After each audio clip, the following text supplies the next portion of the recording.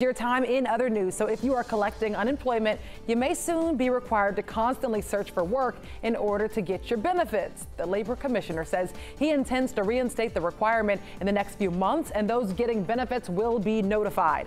The Department of Labor waived the requirement over the past year due to the pandemic. And right now, several businesses, including the restaurant industry, say they are short staffed. The change could come as soon as June.